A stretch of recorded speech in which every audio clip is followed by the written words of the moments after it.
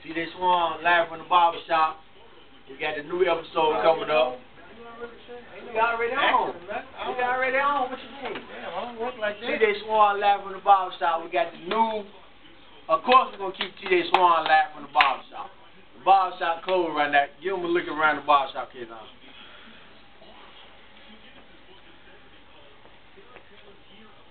barber shop closed right now, so TJ Swann live at the barber shop. it's T. That's my show, I'm TJ in, Swann. I'm in. Well, our next thing we got coming up is QT movie review. That's T and Q movie review. We'll be going over the latest movies. We're gonna be doing old school movies. We're gonna be giving you eye. What we giving the hood? What Yeah, we're gonna give you the real. We're gonna Yeah. give you the real, cause you know times is hard. You know what I mean? And we're gonna let y'all know what to go see, what not to go see. Give you a little glimpse of it, a little review. You know what I'm saying? We ain't gonna give you the whole thing, but we're gonna tell you what it is. Let's go to the movie. I'm gonna tell you what happened before we before you spend your five dollars, ten dollars. Whether you should stay at home, call the bootleg man. Yeah. Call your Nike man. He gonna bring your shoes and your DVD.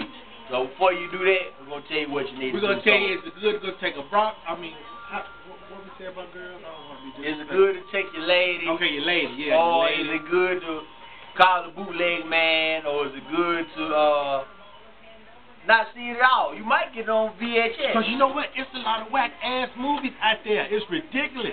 All this money they spending and they making movies left and right and they going to all this 3D shit too. Everything is 3D. Oh, oh, oh, no cussing. This is a family. Oh, This shit. is a family. I mean, I, well, I don't know. I mean, bleep, bleep me, K Zone, when you think I'm finna say something. Just say bleep, all right? Alright. Bleep, the Bleep brothers on uh 610. Uh, Well, um, Jermaine and Quan, 610 Bleep brothers. But You this know, QT movie review.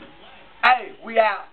We'll see y'all when we do the movie. Let's go to the movie. See this one live on the bar shop. QT movie. We out. Let's Appreciate it, y'all.